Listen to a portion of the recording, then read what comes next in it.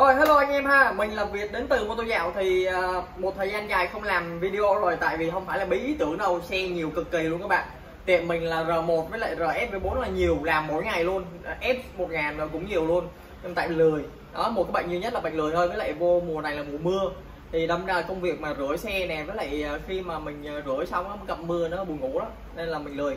Ok hôm nay uh, sẽ quay trở lại với lại cái video của tháng này thì chúng ta sẽ quay lại với một chiếc xe mà đã lên kênh vlog của mô tô dạo khá là nhiều rồi ha. Chiếc xe này là chiếc xe R1M đời 2016 chiếc duy nhất ở Việt Nam luôn. Còn uh, xe R1M mà đời 2015 thì Việt Nam còn 4 năm chiếc nữa các bạn. Còn 2016 là chỉ có một chiếc duy nhất này thôi. Và chiếc xe này là chiếc xe của anh Tấn Vincent Nguyễn. Thì hôm nay uh, chiếc xe này đã được anh Tấn update một số thứ cho chiếc xe. Tuy không nhiều nhưng mà uh, về cái performance thì anh đã chăm chút từng ly từng tí một cho chiếc xe của mình thì à, cảm ơn sang đã hỗ trợ anh ha. Rồi bây giờ chúng ta sẽ đi vô chi tiết của cái sự thay đổi này. Rồi ok. Đầu tiên là anh em có thể thấy là à, qua bật bằng cái đèn kia. Đầu tiên là anh em có thể thấy là một bộ tem hoàn toàn mới ha. Bộ tem racing à, màu à, vàng chanh đọt chuối của Rossi nè. Đó à, như anh em đã biết thì Rossi đã nghỉ chạy từ năm mùa giải năm 2022 thì à, đây cũng là một thần tượng của rất là nhiều người. Anh Tấn anh cũng là thích ờ, cái màu Rossi luôn nên anh dán bộ tem này. Bộ tem này là một trong những bộ tem rồng 1M R1 mà mình thấy nó độc lạ ở Việt Nam hơn còn mấy anh em kia đa số là copy những cái mẫu mẫu mà từ trên những giải đua giống như là FBK nè đó rồi giải British nè đó. Nhưng mà bộ tem này thì được anh Tấn anh anh, anh chăm chút. Rất là độc lạ ha. Rồi ok đó là đầu tiên về bộ tem rồi chúng ta sẽ tập trung vô cái điểm mà khác biệt lớn nhất hôm nay ở trên chiếc xe này.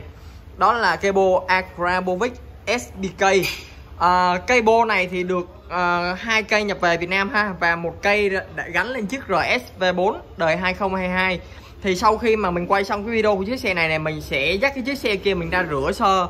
Mình rửa sơ đi rồi mình sẽ quay video chiếc xe kia để cho anh em xem hai cái cái lon của cái xe này và xe đó là nó hao hao nhau hết á.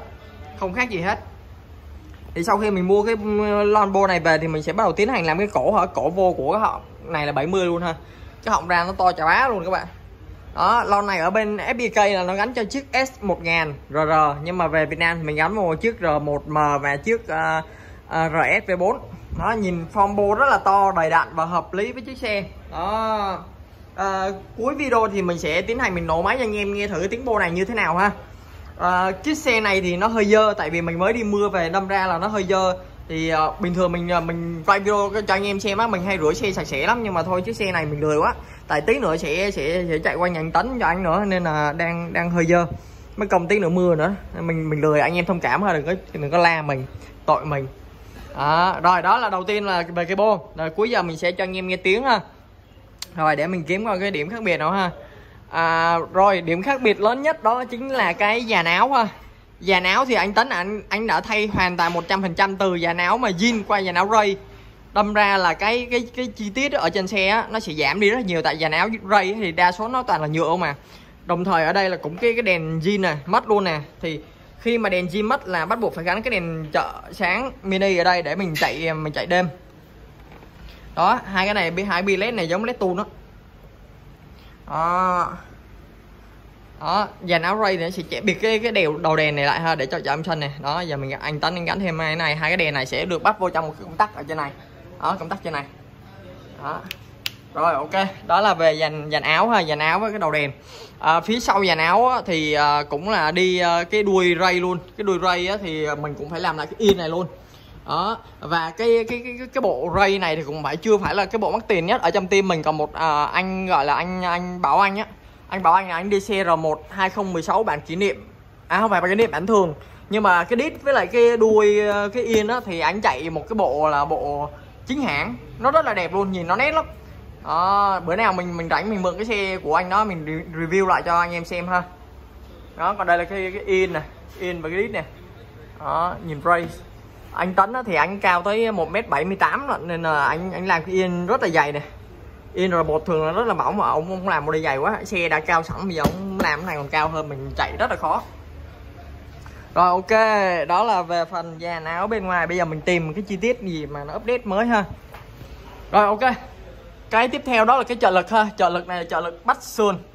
Trợ lực bắt sườn thì à, bắt buộc phải khoan sườn ha anh tấn này là anh có một cái đặc điểm rất buồn cười, đó là anh mua xe về là anh độ chế anh anh anh làm để anh chạy cho nó thật tốt chứ anh không mua về để trưng đó, đây là lần đầu tiên tại Việt Nam mà xe Sport Bike mà mình thấy mà chơi khoan sườn luôn, bắt cái ờ, trợ lực vô luôn, cặp sườn này.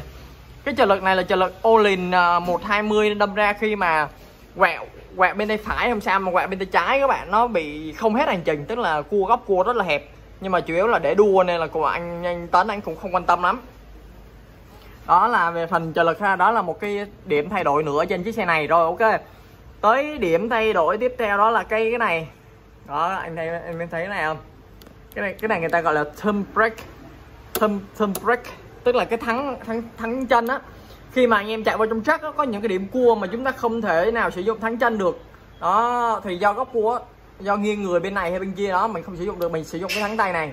Cái thắng tay này cũng là bắt ra cái thắng chân sau. Thì đây mình sẽ có một cái đó dây dầu này đó bắt thẳng ra phía sau luôn.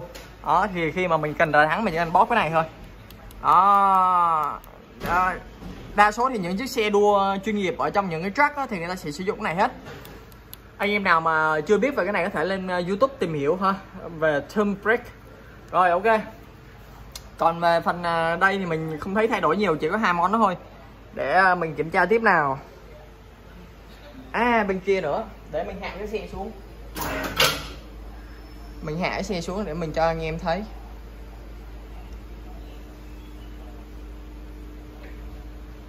Rồi ok qua đây ha.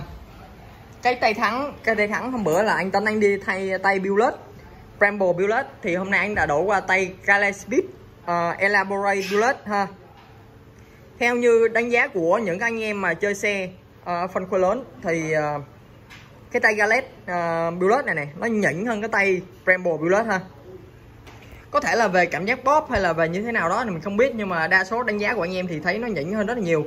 Thì anh Tấn này là thay cái cùm Bramble Bullet ra thay vô bằng cái cùm Gallet Elaborate. Đó, rất là đẹp luôn. Bao tay á, lần trước anh đi bao tay à, Motion Pro thì giờ tháo bao tay Motion Pro ra đi bao tay Racing Boy. Đó ngon bộ rẻ các bạn ha.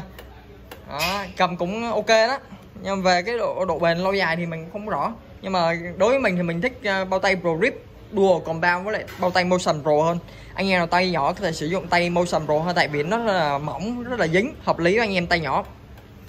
Rồi ok. À, chỉ nhiêu đó thôi. À, đây có một cái, cái cap của cái phuộc này. Anh anh anh làm cái cap này là để à, để chỉnh phuộc mà cái đồ CNC mà hình như hôm bữa ống đặt là chỉ có nhiêu đây nè mà không biết thằng CNC sao làm dài ra ngoài này luôn. Đó nhìn đâm ra nó hơi lố. Đó. Nhìn nó, nó buồn cười không? rồi, ở phía trước này thì ông gắn thêm một cái ờ, bảo vệ đồng hồ Bonamichi Racing ha. Cái bảo vệ đồng hồ này là 5 triệu mấy nè 5 triệu 2 nè. Đó, anh em nào mà chạy những cái đồng hồ mà màn hình lớn như thế này này rồi S BMW S 1000 RR 1R 2022 đổ lên á. Rồi, Ducati Street Fighter V4 ờ, V4 Sport RF V4 đó là chúng ta nên gắn bảo vệ đồng hồ này ha, vì cái đồng hồ nó rất là bị, dễ bị ảnh hưởng, bị nứt á. Đụng nhẹ cái nứt à. Đó rồi về phần uh, ghi đông chặng ba thì chỉ có nhiêu đó thôi. À, cũng không có thay đổi gì nhiều lắm. Còn anh em nào muốn xem chi tiết về cái xe này lần trước thì uh, có thể uh, mình để hai cái link của cái xe này uh, của version trước tức là khoét đây khoảng 3 năm để anh em có thể xem lại coi là nó đã thay đổi những cái gì ha. Rồi để mình đi lượt một vòng nữa xem cái cái xe này có thay đổi gì nữa không à, à không có thay đổi gì nữa không thay đổi gì nữa rồi chỉ vậy thôi. À, anh Tấn thì anh chỉ tập trung mua chiếc xe mình là về performance chứ anh không có thích là về độ kiển nhiều. À, tức là lên món nào thì anh cũng phải là chất món đó có hiệu năng về món đó chứ anh không thích là lên để chỉ để đẹp. Đó. À, phía trước á đây mình nói cho em anh em nghe ha. Thì cái xe này á là R1 2016 thì đâm ra á, khi chúng ta lên cái đầu này là đầu 2020 đổ lên tức là 2020 đến 2022 thì chúng ta phải thay cái ram e và cái sừng trâu. Đó ở đây nè có cái sừng trâu nhôm này anh em thấy không? Đó anh tấn anh đã thay thành sừng trâu nhôm luôn. Cái sừng trâu này thì chúng ta có thể sử dụng là của hãng um, motor holder ha. Motor holder nó khoảng 6 triệu mấy á. 6 triệu mấy rồi chúng ta phải thay luôn cả cái ram e này luôn. Thay cái ram này phía trong này nè. Đó là hai thứ quan trọng nhất đó là cái ram e và cái sừng trâu. Rồi sau đó là cái đầu này cái đầu này thì nếu anh em mà bình thường á muốn lên cái đầu này chúng ta chỉ cần thay cái miếng carbon mà rồi. Carbon là miếng này và miếng này ha là tổng cộng là hai miếng hai bên cộng với miếng phía trước đầu là chúng ta đã có thể là nâng cấp lên được xe 2022 rồi. Anh em nào thích nâng cấp như vậy qua bên mô tô dạo mình ha. Mô tô dạo có đầy đủ đồ sẵn luôn cho anh em. À, chi phí thì nó sẽ lanh quanh khoảng bốn mấy triệu mình nhớ em bán là vậy thôi có thể là hơn.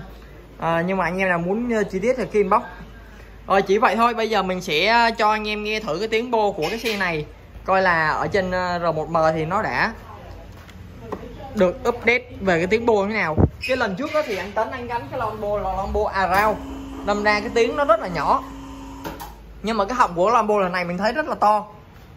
Đó, nên là hy vọng là nghe nó hợp lý hơn. Rồi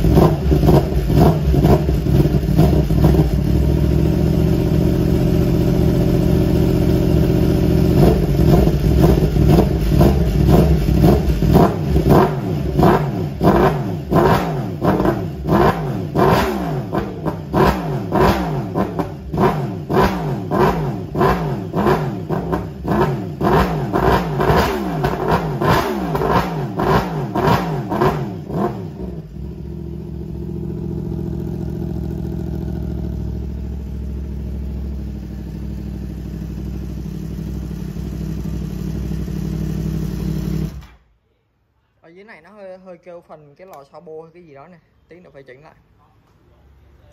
Cái lon này mới gắn lên thì mình nghe thì nó hơi hợp nhẹ. Hơi hợp nhẹ thôi các bạn. Còn về âm thanh thì ok.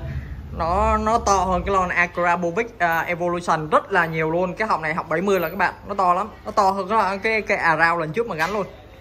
Đó rồi chỉ vậy thôi. Chiếc xe này à, update vài thứ như vậy đó. Anh em nào mà có câu hỏi gì về những cái món đồ trên xe này hay có câu hỏi gì về việc mà update cái đầu đèn hay là như thế nào đó thì cứ inbox cho mình ha.